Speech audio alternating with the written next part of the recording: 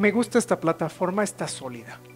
Y a mí me gustan las plataformas sólidas porque me muevo mucho y tengo miedo a caerme. Realmente siento que tienes que hablar en un lugar donde pudieras bailar.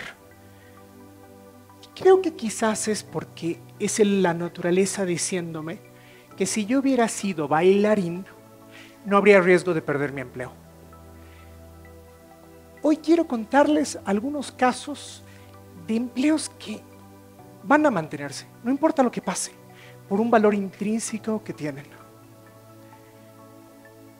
Algunos quizás han visto este video. Este es un video de un robot pintando. Hay varios. Fueron muy interesantes en una época. Y claro, como muchas cosas, son tecnologías atrayentes. Pero al final no es arte. No es una pintura hecha por un humano. Y al no ser humano le falta algo. Quizás todos encontraríamos súper interesante, súper divertido, atrayente ir a ver un grupo de robots bailando ballet. Pero ¿cuántos de nosotros irían esta semana a ver este grupo de robots que baila el lago de los cisnes y la próxima semana aquel grupo de robots que baila el lago de los cisnes? No tiene chiste. Lo que nos gusta en muchas cosas, en el arte, en lo artesanal, es la imperfección, la diferencia que se genera en cada uno de estos espacios. Este pañuelito que me compré en el mercado artesanal no es igual a aquel pañuelito de al lado. Y eso es lo que le damos valor porque es propiamente lo humano. Y es esa imperfección la que garantiza en el mundo del arte vamos a tener un primer espacio de supervivencia de empleos. Si vamos al segundo caso que tenemos que analizar y pensar, está asociado a los límites que tiene la inteligencia artificial. Yo creo que a todos nos pasó en colegio alguna vez que el profesor nos agarró y nos preguntó algo que no sabíamos.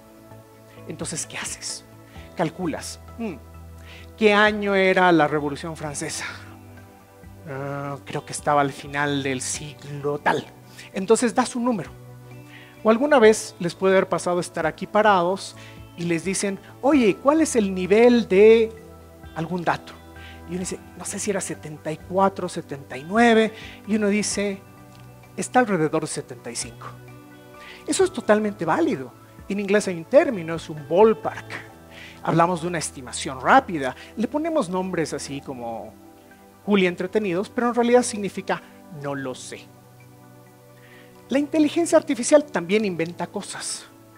La diferencia nos comentaban antes, es justamente tiene limitantes en el hecho de entenderse a sí misma.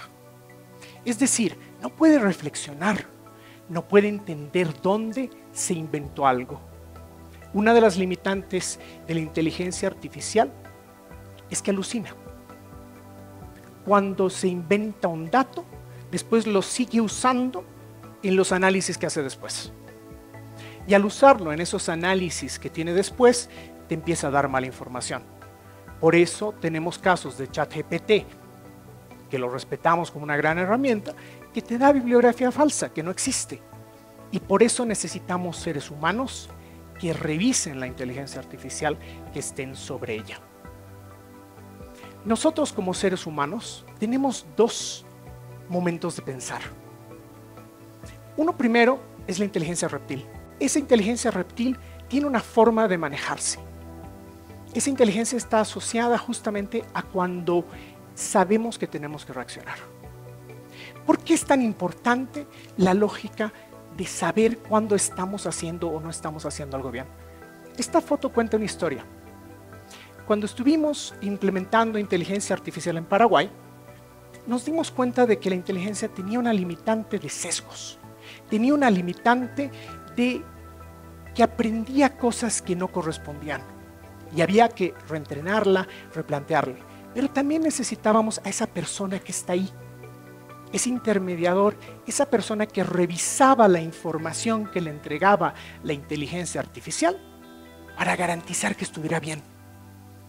Necesitamos ver los temas éticos, reentrenar a la inteligencia artificial, garantizar que justamente cumpla su objetivo. Todos los autores de filosofía han hablado de niveles de pensamiento. Hoy hablamos de la inteligencia reptil versus la inteligencia mamífera. ¿Y cuál es la diferencia? Muchas veces nos debe haber pasado que reaccionamos rápido. Y a veces al reaccionar rápido tenemos sesgos. Somos racistas, somos machistas, sacamos lo peor de nosotros. Y eso es normal, porque la primera inteligencia, la reptil, reacciona primero. Es la que nos ha ayudado a sobrevivir. Hace muchos años no teníamos una sociedad tan organizada. Si estabas en un pueblito y aparecía alguien que no era del pueblito, no sabías si no era la avanzada de una invasión. Tenías que tener cuidado. Hoy el mundo ha cambiado. Nuestra segunda inteligencia, la inteligencia mamífera, tarda más en llegar. Es la que nos permite reflexionar. Hay experimentos que muestran que si tú le preguntas algo de religión o política a una persona y responde rápido, su respuesta no va a ser la misma que si lo piensa más. Cuando pensamos más, nos damos cuenta al día siguiente nuestras propias fallas. Y esa capacidad de reflexionar es lo que nos da una ventaja comparativa gigantesca contra la inteligencia artificial. Es uno de nuestros grandes favores. No tenemos que tener miedo. Varios historiadores cuentan la historia de la primera máquina de vapor.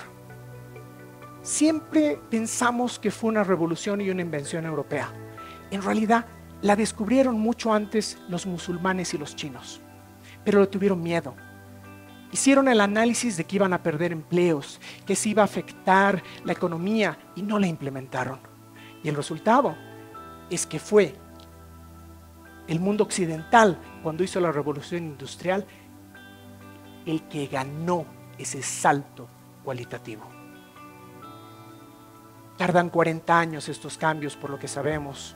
Toma tiempo. Y en ese tiempo lo que tenemos que hacer es aprender habilidades propiamente humanas, interactuar con la inteligencia artificial, llevarla a buen término, poder interpretarla, poderle hacer las preguntas correctas. Lo que nos hace propiamente humanos es nuestra capacidad de aprender. Y lo que tenemos que hacer para mantenernos en el futuro del empleo, en mi opinión, es trabajar en tener más habilidades, seguir aprendiendo, seguir siendo cada vez más humanos.